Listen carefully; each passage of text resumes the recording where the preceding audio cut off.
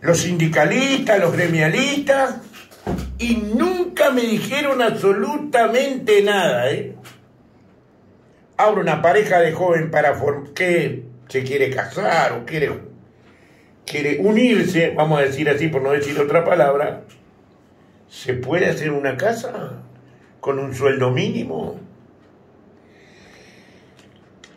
Y acá recibimos a todos, porque la radio es abierta, la radio es así, y la audiencia tiene que saber. Muy buenas tardes, Liber Trindade. Bienvenido, un gusto.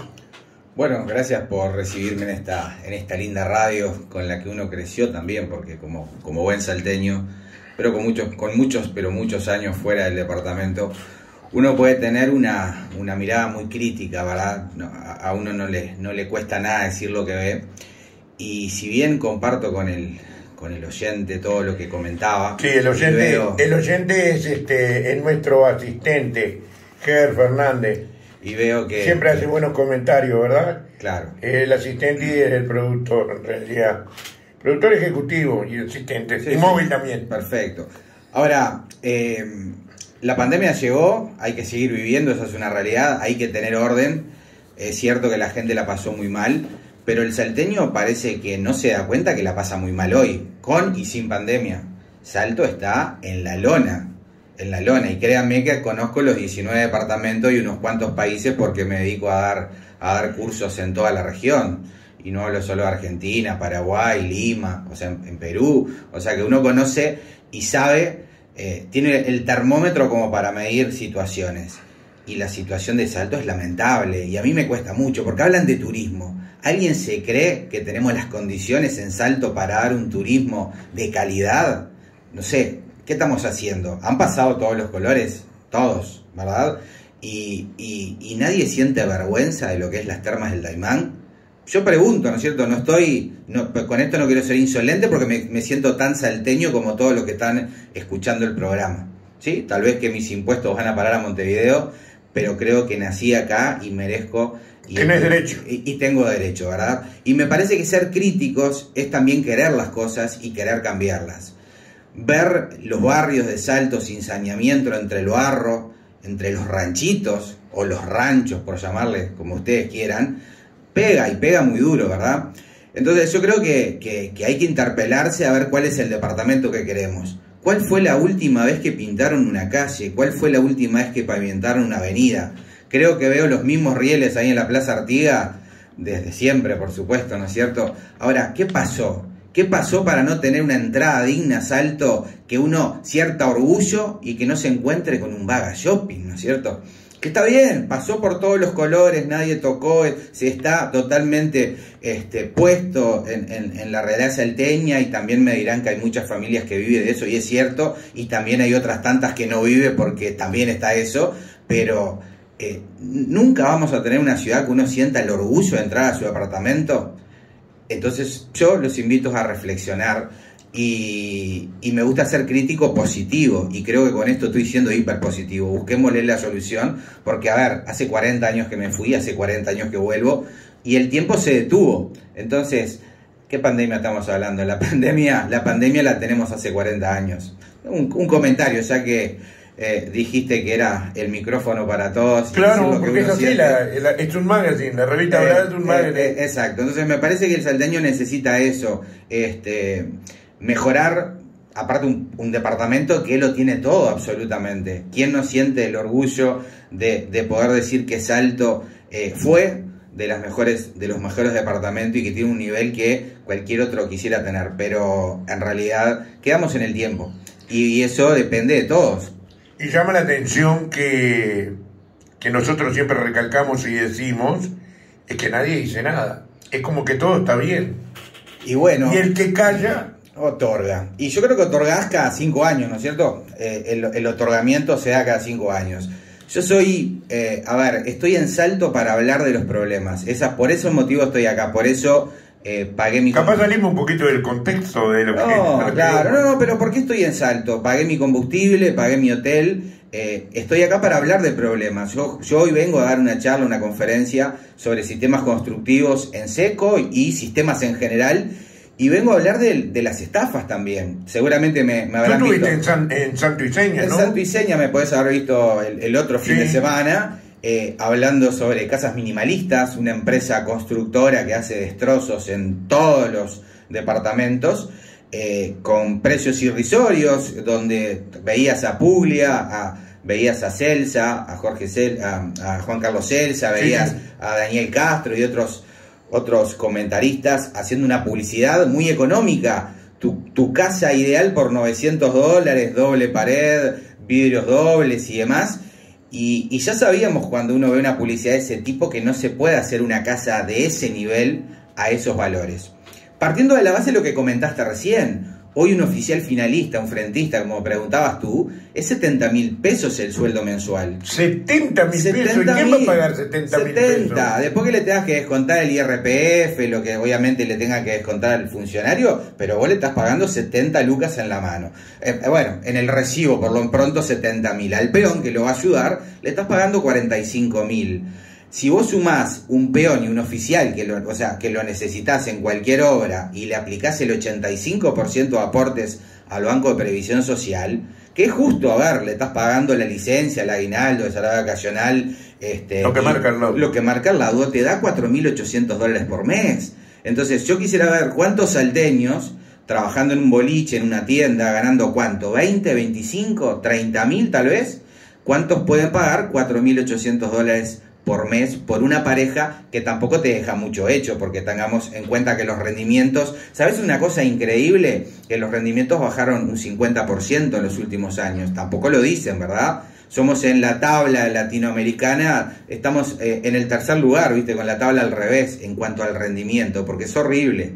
Ya perdimos calidad, pero perdimos rendimiento. Y eso hace que las familias cada vez vivan como viven en Salto, en un rancho. ¿Sí? O sea, esa es la. Así que en realidad la gente vive mal. Y pero, pero a ver, la gente vive como puede en cuatro cartones y unas latas. La verdad que miserablemente. En la pobreza. No, que no, no, vamos por las avenidas y primero no tenemos raya en la, en la calle para ver las rayas. no vemos las rayas. Y nos miramos para el costado y vemos el rancherío que hay. Nadie le revuelve el estómago a ver lo que está pasando. Digo, y acá no le ponemos tinte político a lo que decimos, porque han pasado todos, ¿verdad? Entonces, No, no, no, nos, no nos hagamos lo distraído, pero hoy agarraba una de las avenidas y decías, pucha, puta madre, hablando mal y pronto, disculpe la expresión, porque hay que ser claro en lo que uno siente. Entonces, eso es lo que no se puede permitir. Ahora, ¿cómo hacemos? Y bueno, primero que nada, hay que, hay que entender que tiene que haber mayor aporte de los gobiernos para poder salir. Pero no da solo con eso, porque si todos estos funcionarios que ganan esa plata no laburan, o hacen la plancha, o se quejan, ¿Sabes qué me pasó ayer? Y, esto es un comentario que me revolvió también un poquito el estómago. Ayer cuando paré en el hotel, se, se acercó un chico, lo, lo, clásico que te viene a pedir algún mango y que uno lo atiende como tiene que hacer, como un humano, ¿verdad? Y me dice, ah, sos de Montevideo, digo, ¿conoces? Y sí, fui, algunas veces he ido en los camiones del Zunca. ¿Cómo? En los del Zunca. Eso fue lo que me dijo el chico. Yo no tengo por qué dudar lo que él me dijo. ¿Cómo? Claro, porque es muy fácil llevar gente a Montevideo a quejarse. ¿Está? Entonces, ¿cómo cambiamos Salto? Lo cambiamos primero con emprendedores, con gente que quiera cambiar las cosas.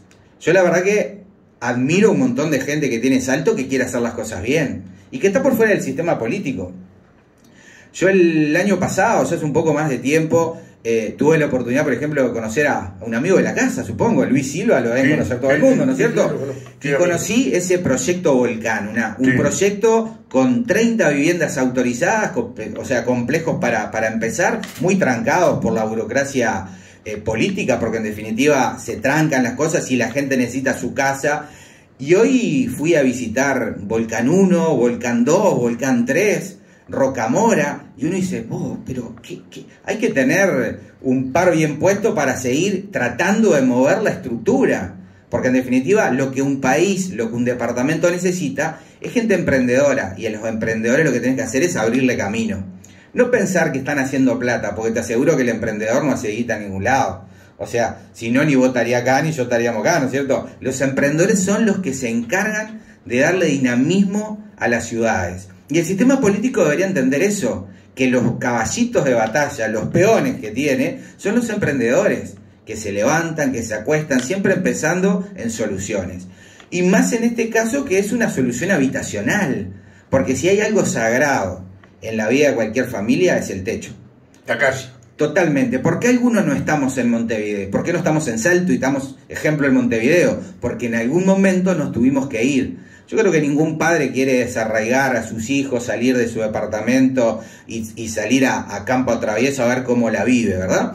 Entonces, démosle lo, lo sagrado a las familias que es el techo. Ahora, no un rancho, porque sí es un techo, pero es un rancho. Entonces, en un departamento con 46 grados de temperatura, ¿te pensás que podés vivir en un rancho? ¿Te podés pensar que vivís en una, en una casita de bloque con una planchita de 5, 6, 7 centímetros ahí en el límite que arde y que te acostás a las 2 de la mañana porque no puedes entrar al rancho del calor que hace?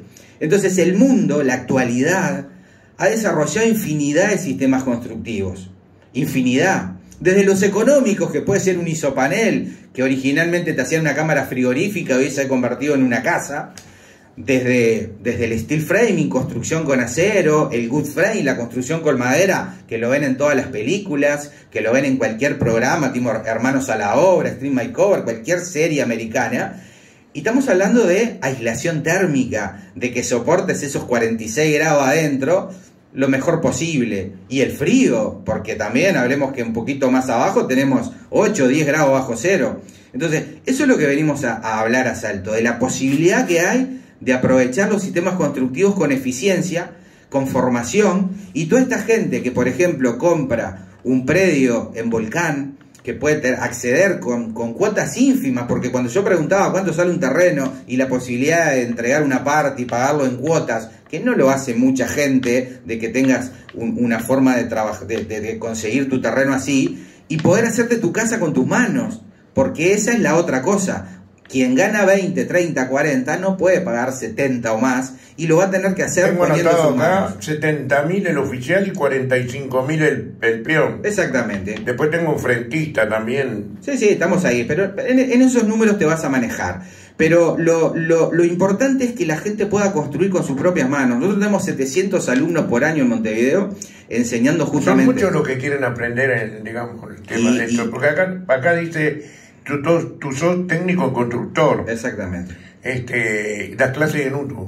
Doy en UTU por un tema vocacional, porque cuando uno habla de devolverle la sociedad algo es en serio, no es de la boca para afuera, ¿verdad? O sea, no vas por el sueldo, te aseguro. Sí, sí, sí, eh, sin embargo, sí, Secatec es un centro de enseñanza que tenemos 18 años, como te digo, con 700 alumnos por año, damos cursos en Córdoba, en Lima, en distintos países que nos movemos y entendemos que la, la, forma de que la gente llegue a una casa digna es con sus propias manos. Y lo hemos demostrado. Acá no hay nada para, para inventar, está todo demostrado. ¿El suelo de Salto como es rico? ¿El suelo? Sí. Sí, sí. O sea, suelo. A ver, Salto tiene lo que tiene todo el Uruguay. Las características de Salto, la única cosa que le podemos achacar es al calor que nos vuelve loco, ¿verdad? Pero Salto no nos podemos, a ver, estamos dentro del mapa. En un país tan pequeño como, como el nuestro, no, no hay grandes, grandes diferencias. Lo que sí me parece es eso, que la diferencia tiene que ser conceptual, en, en, en, hacia dónde vamos, en qué tipo de departamento queremos, y ahí creo que hay que trabajar. Y por eso, por eso insisto en que cuando hay emprendedores, lo importante es que los apoyen porque si nosotros siempre castigamos al emprendedor, castigamos al éxito, acordate que la palabra éxito en el diccionario uruguayo dice mala palabra al costado. Y eso no puede pasar. El emprendedor es el que te saca adelante. O sea, pero sin embargo castigamos eso. Siempre estamos mirando al emprendedor como el enemigo, le, ponemos el título de patrón adelante. Y eso no puede pasar. ¿sí? Esta gente estafada que, es un dato que te va a ser interesante, estos 70 mil pesos más 45 tributan, como dije, el 85%. Hay empresas, pero sí de empresarios corruptos, que se quedan con los aportes de la gente. Y la gente tiene que volver a pagar esta plata porque es un deber del propietario. Entonces, el, el tipo que consiguió unos mangos en un crédito a 20, 30, 15, 20 años y que de repente era un sereno, solo por tener la ambición de tener un techo, se lo digna de empresario. porque es el que le debe al, al, al, operario. Entonces, viste cómo la rosca es perversa en este país y ponemos a unos frente a otros enfrentados. Por eso me parece que es importante conocer, hablar eh, con conocimiento de las cosas y nunca destruyendo. Jamás. O sea, la crítica tiene que ser recibida como crítica. Y puede ser debatible y te pueden demostrar lo opuesto. Pero nunca como que uno quiera agredir. Porque me parece que eh, entre gente civilizada debemos operar así. En tanto en el departamento de Artigas como en Salto hay muchas piedras. ¿Sirve para algo el tema construcción? Bueno, a ver, todo material noble, material histórico, hace al arte del buen construir y, a los artesanos. El tema dónde están los artesanos. Siempre pasa por ahí el problema. Hoy es difícil encontrar un buen, un buen albañil que levante una pared derecha, y estamos hablando de repente de un ladrillo, una mampostería tradicional. Imagínate con cosas que tenían ya una técnica un poquito más ancestrales, por llamar de alguna manera, este, cada vez se complica más. O sea que ese sería el problema nada más. ¿La charla cuándo es, La charla la tenemos ahora a las, a las 19 horas en el Centro Comercial de Salto, agradeciendo a, empresarios, a, empresas que nos han pedido venir a sensibilizar de lo que está pasando. Eh, la verdad que la pasan muy mal las empresas de Salto, porque cuando aparecen los fantasmas de Montevideo, porque también del otro lado los hay, ¿no es cierto? A ver, no es exclusividad de ningún departamento. La gente acá parece que, baja la guardia, porque si viene de Montevideo parece que, tiene algo distinto. Sí, sí. Eh, y tiene precios baratos. Ahora, eso no existe, los precios son los que marca el laudo, es lo que hay que cuidar a la gente, hay que ver cómo hacer un contrato, cómo ver un presupuesto, cómo controlar, hay que tener mucho cuidado con los profesionales locales que comprendan eso también, damos cursos para muchos profesionales de, salto que han asistido a nuestros cursos.